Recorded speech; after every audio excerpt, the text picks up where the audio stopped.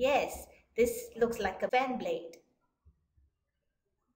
Now I'm going to add lines to help us see better.